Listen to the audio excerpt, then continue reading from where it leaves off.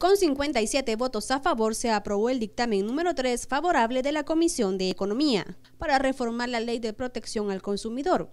Una de estas modifica el artículo 18 a efecto de prohibir la realización de gestiones de cobro de carácter difamatoria o injuriantes en perjuicio del deudor. Qué bueno por el pueblo salvadoreño, porque ahora ya no va a ser susceptible de amedrentar una persona publicándole su nombre, su dirección, su fotografía para que pague.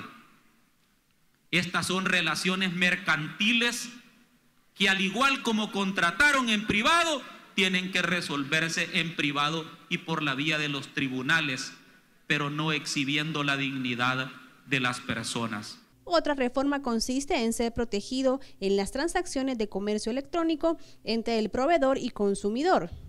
Hoy celebramos que mientras no tengamos estos cuerpos de ley, introducimos las reformas a la ley de defensoría del consumidor, lo cual ampliará la gama de derechos protegidos cuando se realicen transacciones comerciales vía electrónica. Y todos hemos sufrido de una u otra manera problemas como comprar algo en Internet, pero no tenemos el proceso para lograr, primero, que nos devuelvan la mercancía o que nos repongan la mercancía en el caso de que ésta no haya llegado. Segundo, que haya llegado en mal estado. Tercero, que no funcione.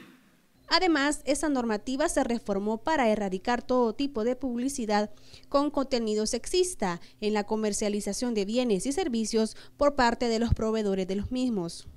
Es lamentable que tengamos que llegar al punto de legislar para hacerle entender a nuestra sociedad que la figura de la mujer no puede ni debe seguir siendo utilizada como, un simple objeto para, para atraer consumidores y exponiéndolas o exhibiéndolas como un objeto sexual.